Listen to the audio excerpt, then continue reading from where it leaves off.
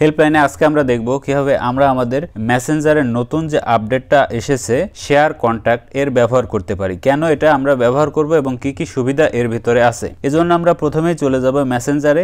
যে কোনো আইডিতে চলে গেলেই আমরা এই ইন্টারফেসটা পাবো, আমরা সবাই জানি। আর উপরে প্রোফাইল পিকচার অথবা এই আই বাটনে ক্লিক করলেই এরকম ইন্টারফেসটা আসবে। এখানেই আছে শেয়ার কন্ট্যাক্ট। এটার কাজ হচ্ছে আপনার ফ্রেন্ডকে আপনার আরেকজন ফ্রেন্ডের কাছে প্রোফাইলটা দিয়ে দিতে পারবেন। কীভাবে? সেটা হচ্ছে এটাতে যদি ক্লিক করেন, তাহলে আমার এই ফ্রেন্ডকে আমি আমার অন্য একটা ফ্রেন্ডের কাছে সেন্ড করে দিতে পারি। সেক্ষেত্রে কি হবে? ওই ফ্রেন্ডটা যে এই মেসেজটা পাবে, সে খুব সহজেই এই আইডিটার সঙ্গে চ্যাট করতে পারবে, এমনকি এর সাথে ফ্রেন্ডশিপও করতে পারবে ফ্রেন্ডের রিকোয়েস্ট পাঠাতে পারবে। অর্থাৎ আপনার বন্ধুকে আর বন্ধুর কাছে খুব সহজেই লিঙ্কের মাধ্যমে শেয়ার করা মেসেঞ্জারের মাধ্যমে। যে বন্ধুকে আপনি এইভাবে লিঙ্কটা শেয়ার করবেন মেসেঞ্জারের মাধ্যমে, এভাবে ইন্টারফেসটা পাবে। তার সাথে সরাসরি মেসেজ করতে পারবে প্রোফাইলটা দেখতে পারবে প্রোফাইলে ঢুকতে পারবে। এভাবে আপনি যে কোনো আইডি আপনার ফ্রেন্ডকে পাঠাতে পারেন খুব সহজে। ভিডিওটা যদি ভালো লাগে তাহলে অবশ্যই লাইক কমেন্ট দেবেন শেয়ার করবেন বন্ধুদের মাঝে। আর যারা এখনও আমার চ্যানেলটি সাবস্ক্রাইব করেননি, অনুরোধ রইল সাবস্ক্রাইব করবেন। ভালো থাকবেন,